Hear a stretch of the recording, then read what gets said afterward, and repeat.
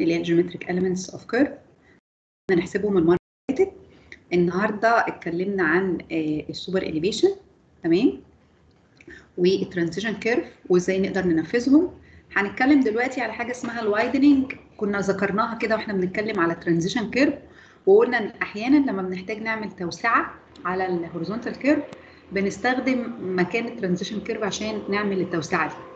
طب التوسعة بتكون ليه؟ في سببين للتوسعة. السبب الأولاني حاجة اسمها mechanical widening والسبب الثاني السبب psychological widening أو التوسعة النفسية عشان تريح الناس. ال mechanical widening بتتعمل عشان إيه؟ آه اتفقنا إن أنا بصمم الطريق مش عشان نوع واحد من السيارات يستخدمه عشان كل تركيبة المرور اللي عندنا تستخدمه. وكنا متفقين مع بعض في البداية لما اتكلمنا إن أنا تركيبة المرور عندي ممكن تكون متغيرة. يعني ممكن يكون عندي عربيات نقل وعربيات ملاكي وعربيات باصات. فعربيات النقل دي طولها بيتفاوت على حسب نوع السيارة. عربيات النقل الحقيقة لما بنيجي نبص عليها في في ال classification بتاع ال AASHTO بتاع ال MEPDG بنلاقي إن هي 13 class 13 class من السيارات يعني أول أربعة منهم مش نقل من أول class رقم أربعة. بنبتدي نتكلم أربعة على الباصات وبعدين من أول خمسة بقى لحد 13 دي عربيات النقل. عربيات النقل أشكالها كتير ماشي؟ هنتكلم عنها بالتفصيل إن شاء الله لو بقى في فرصة في التصميم الإنشائي. بس لازم نبقى فاهمين إحنا من ال common sense كده ومن الملاحظات بتاعتنا ك users إن عربيات النقل ممكن تكون مقطورة واحدة بس. ممكن تكون مقطورة وراها أكتر يعني جرار ووراه أكتر من مقطورة فالطول بيختلف. فكل ما زادت الأطوال اللي هتستخدم المنحنى كل ما بقى احتمال يكون في احتياج لتوسيع المنحنى. عشان العربيات دي لما تيجي تلف في المنحنى الطول الكبير اللي العجل القدماني والعجل الوراني خالص آخر إكس وأول إكس بيستلزم إن إحنا نوسع المنحنى عشان ما فيش عجل من النوع ده يطلع من على الرصف بتاعنا. فال mechanical widening بيتحسب إزاي؟ قال لك إن ال W mechanical ده العرض بتاع التوسعة. آه بيساوي قد إيه؟ بيساوي ال N مضروبة في L تربيع على 2 R إيه بقى ال N ال N ده عدد الحارات. أكيد كل ما يبقى عندنا حارات أكتر والحارة الداخلية ممكن تكون آه أخطر فبنحتاج توسعة أكبر. L طول ال wheel base length of wheel base ونقصد بيه هنا ال length wheel base اللي هو أطول عربية ممكن تستخدم الطريق. وال R طبعا هي نصف قطر المنحنى. لو دخلنا هنا المعادلة هنا مش معادلة وضعية ما فيهاش ثوابت ماشي؟ فلو دخلنا الطول بتاع ال wheel base ودخلنا ال radius بالمتر فهيطلع لنا التوسعة بالمتر. لو دخلناهم بال feet هيطلع لنا التوسعة بال feet. ال psychological widening بقى قال لك ده عشان يدي أمان نفسي لسائق السيارات فقال لك ال psychological widening بيساوي قد إيه؟ قال لك السرعة مضروبة على 9.5 جذر R. سرعة بالكيلومتر per hour على 9.5 جذر R. تمام؟ فده يقدر يخلينا نحسب قيمة التوسعة اللي إحنا محتاجينها على المنحنى أو عرض التوسعة بيكون قد إيه. ال W for width ماشي of widening خلاص وال W mechanical وال W PS اللي هي ال psychological widening بيتحسبوا بالمعادلات اللي قدامنا دي. طيب باقي لنا حاجة بقى عايزين نتكلم عليها هو إيه اللي إيه اللي دوت إيه يا دكتور لو سمحت؟ هو مكتوب قدامنا هو أنا قلت والله ال length of wheel base يعني إيه length of wheel base؟ المسافة ما بين أول أكس في العربية خالص وآخر أكس، يعني إيه أكس؟ الأكس ده المحور اللي بيبقى راكب عليه العجلتين على اليمين وعلى الشمال. يعني على سبيل المثال عارف العربية الملاكي؟ أيوه تمام. العربية الملاكي في أكس قدام في عجلتين، عجلة على اليمين وعلى الشمال اللي تحت السواق على طول.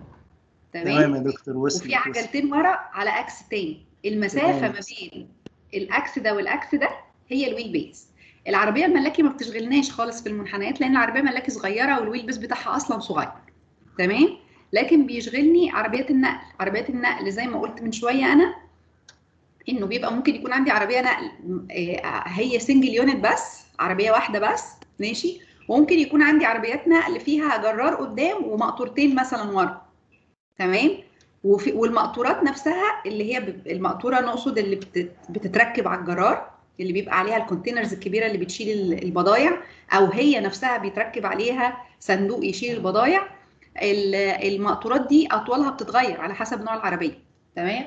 فأنا ال wheel base هنا لو أنا عندي أكتر من مقطورة الاكس اللي قدام خالص بتاع الجرار الأولاني والاكس الأخير خالص آخر عجلتين ورا ماشي؟ ده اسمه من مسافه من أول هنا الأول لحد آخر من أول إكس الجرار لحد آخر إكس عندنا ده اسمه ال wheel base. كل ما طول ال wheel base كل ما احتاجنا توسعة أكتر. تمام؟ وضحت لك كده أنا ال اللي هي إيه؟ في حد عنده سؤال تاني في ال slide دي قبل ما أغيرها؟ أنا يا دكتور بقى. صمم على انه طول بقى يعني. بالظبط. أكبر عربية هتستخدم الطريق. تمام. أنا بيبقى عندي المفروض في عندنا حاجة اسمها traffic count يعني إيه traffic count إن إحنا بنبقى لو الطريق لسه بنصممه جديد خالص بن anticipate يعني بنتوقع إيه العربيات اللي هتستخدمه. لو أنا عامل طريق والطريق ده على سبيل المثال في جنبه محجر ماشي أو هيوصل لمحجر تمام؟ فمحجر يعني عربيات نقل هتشيل رمل وزلط من المحجر تمام؟ أشوف إيه نوعية العربيات اللي بتستخدم في المنطقة دي.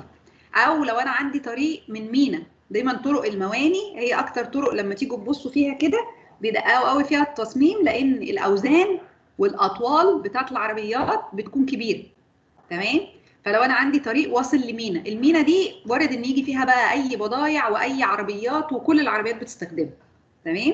فأنا لازم أشوف أطول عربية هتستخدم الطريق وهي باخد ال length بتاع ال wheel base بتاعها عشان أوسع المنحنيات اللي على الطريق ده. كده تمام يا شباب؟ آه، دكتور معلش بس. لو لو العربية جرار ووراها مقطورتين هيبقى ال من أول أكس عربية الجرار لغاية آخر آخر عجلة في المقطورتين؟ آخر أكس في المقطورة الأخيرة. تمام يعني العربية كلها يعني. كلها. آه، تمام جدا. ماشي. ما عدا بس جزء صغير كده اللي بعد العجلة الأخيرة واللي قبل العجلة الأولانية بتاعت الجرار. حاجات بسيطة قوي. تمام؟ سؤال يا دكتور. اتفضل السؤال اتفضل. حد عايز يسأل؟ كان في حد بيقول سؤال يا دكتور ولا خلاص؟ أيوه طارق كان بيسأل. آه اتفضل يا طارق.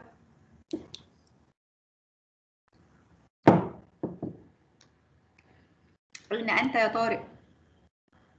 أيوه دكتور. أيوه يا دكتور معلش. فصلت معلش معاك. كنت بسأل حضرتك بس أنا بوسع الاثنين ال mechanical وال psychological ولا بختار الأكبر فيهم؟ بختار الأكبر فيهم. تمام يا دكتور. تمام.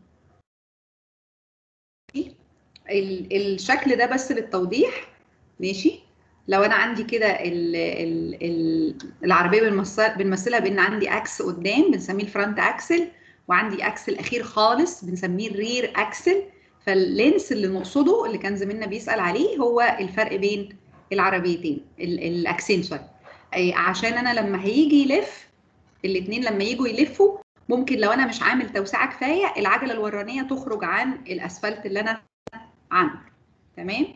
فاضل لنا آخر حاجة بقى على ال horizontal curve إحنا كنا قلنا في محاضرة ال sight distance وإحنا بندرسها أول محاضرة خالص إن أنا محتاج ال sight distance عشان لما أجي أصمم الكيرفات سواء كانت كيرفات أفقية أو إن شاء الله لما هناخد في المحاضرة اللي بعديها كيرفات رأسية.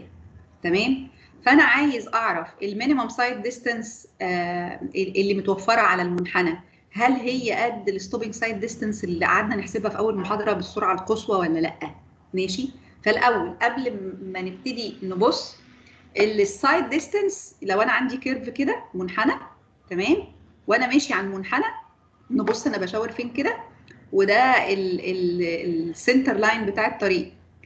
وعندي الطريق ده أكتر من حارة يعني say لو أنا عندي الطريق ده. ال ال حرف حرف ال- الطريق ده حرف الطريق وده ال center line بتاعه والناحية الثانية في حارة زيه تمام؟ أكتر عربية بتبقى شايفة قليل أو أقل عربية في الرؤية هي العربية اللي ماشية في الحارة الداخلية تمام؟ لو أنا عندي sight obstruction obstruction نقصد بيه إيه؟ مبنى شجرة أي عائق في الطريق ماشي؟ فاللي متوفر عندنا حاجة اسمها HSO بنسميها ال horizontal sight line obstruction في عائق في اتجاه خط النظر. خط النظر مستقيم يا شباب يعني مبدئيا كده. لو ده المسار اللي العربية بتمشي فيه في الحارة الداخلية فدي المسافة المتاحة للعربية عشان تمشيها لكن خط نظر السائق بيبقى خط مستقيم. خط النظر السائق مش منحني. خط النظر وإحنا بنبص ال ال خط النظر بتاعنا اللي طالع وبيشوف الحاجة بيبقى خط مستقيم. طيب. لو أنا ال- ال- الجزء المتاح ليا للرؤية اللي هو بنسميه ال HSO أو ال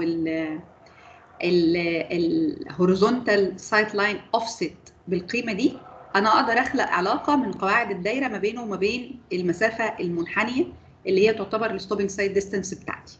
أنا عايز إيه؟ أنا عايز أعرف هل المسافة اللي على المنحنى دي كفاية؟ يعني المسافة اللي متوفرة على المنحنى اللي إحنا عملناه لو درسنا كل العوائق اللي موجودة كفاية عشان لو حصل لا قدر الله إن السائق في أي وقت من الأوقات اكتشف وجود عائق على الطريق يقدر يتوقف قبل ما يصطدم بالعائق ولا لأ؟ فبنعمل الكلام ده إزاي؟ في عندنا معادلة أهي. ماشي؟ نبص في المعادلة كويس. دي نفس الرسمة اللي فاتت. ماشي؟ من الحارة الداخلية من center line الحارة الداخلية. أنا هحسب قيمة M ماشي؟ M هنا مش هتبقى M الكاملة بتاعت المنحنى. M لحد الحارة الداخلية لو أنا عندي عائق قد إيه وأحسب منها العلاقة ما بينها وما بين ال sight distance بالعلاقة اللي موجودة قدامنا دي. العلاقة أهي بتقول لي إن M بتساوي R في 1 ناقص cosine 28 و65 من 100 S ماشي؟ على R اللي هي إيه S؟ قال لك ال stopping sight distance المتاحة على المنحنى ده. طبقا لل M اللي موجودة دي لو في عائق. ماشي؟ ال M المقاسه تمام؟ فلو أنا جبت العلاقة ما بين ال middle ordinate وما بين ال sight distance هجيب ال stopping sight distance اللي موجودة في المكان ده قد إيه؟ تمام؟ على المنحنى. أنا كده كده أقدر أحسب قيمة ال sight distance المطلوبة للسرعة القصوى كام؟ من المعادلات اللي خدناها في محاضرة ال sight distance لو ال M المتاحة لو ال M الموجودة هنا طلعت بينها وبين ال sight distance العلاقة دي فحسبت قيمة ال sight distance دي المتاحة دي ال available ماشي؟ لو هي لو هي قيمة ال sight distance المتاحة أكبر من ال sight distance المطلوبة للتوقف تماما من السرعة التصميمية خير وبركة. بقى المتاح أكتر من الإيه؟ من المطلوب. ماشي؟ طب لو كانت المتاحة أقل من المطلوبة عشان السرعة التصميمية هعمل إيه؟ ده سؤال يا شباب. أعمل إيه؟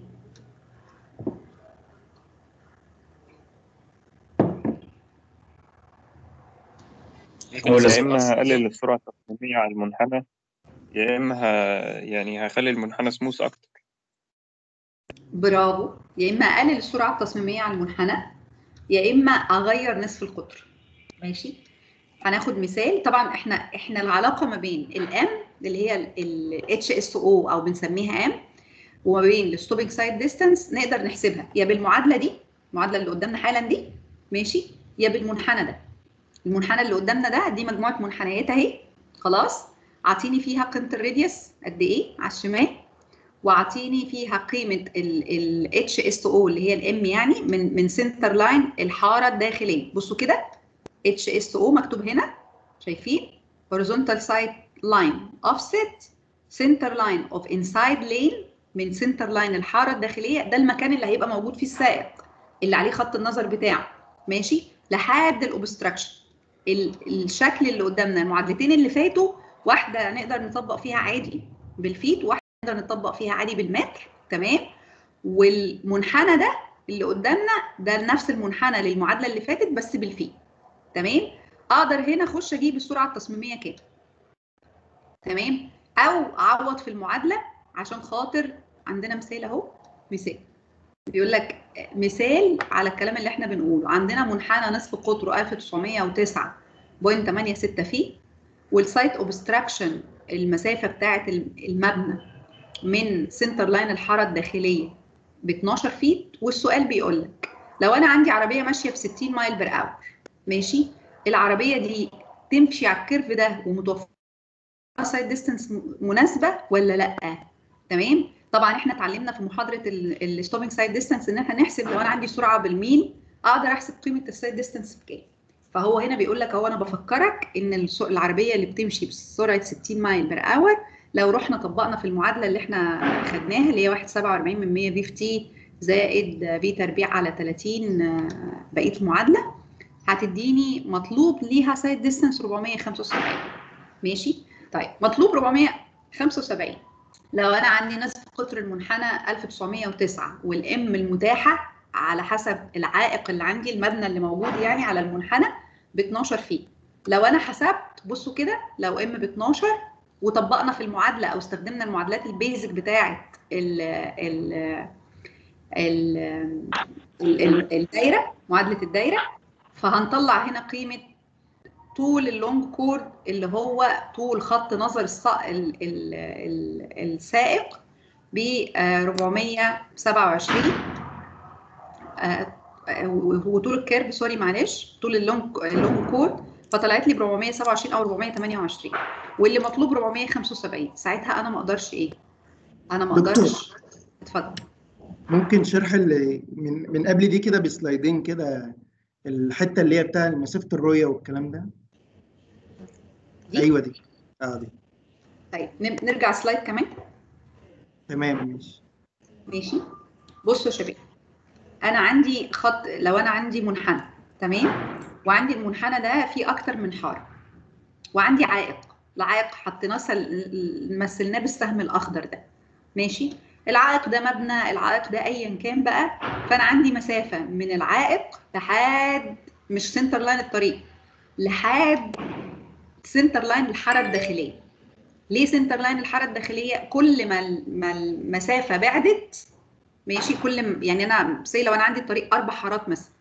اللي ماشي في الحارة الرابعة الخارجية شايف أكتر وأوسع من اللي ماشي في الحارة الداخلية. تمام؟ وده بسبب المبنى. أوكي؟ فأنا دايما لما باجي أعمل حساباتي بعمل حساباتي على إيه؟ على ال most critical تمام؟ فال most critical هو اللي شايف أقل اللي في الحارة الداخلية.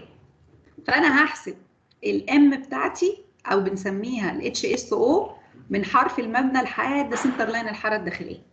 أنا لازم أوفر للي ماشي في الحارة الداخلية دي إنه يبقى شايف عشان لو بقى في عائق في الحارة بتاعته يعرف يتوقف. تمام؟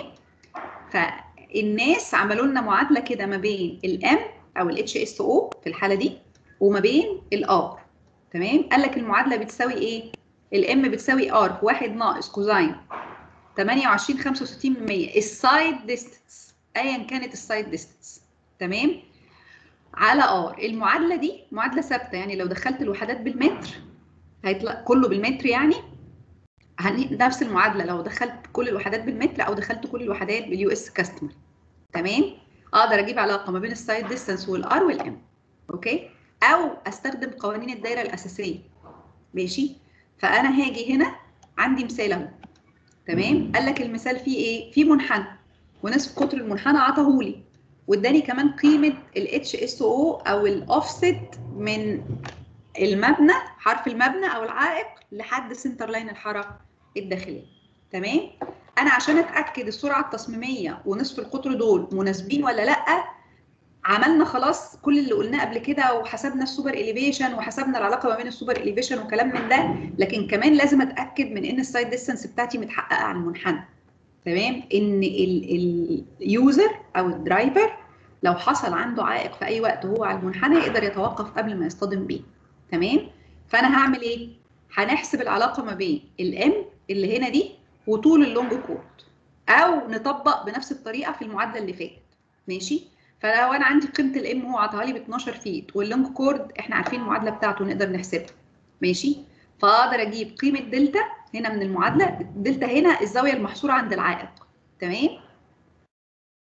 وأطبق عشان أجيب طول اللونج كورد. لو طلعت قيمة ال long chord دي آه، المسافه دي المسافة اللي على المنحنى المتوفرة على المنحنى في وجود العائق ده.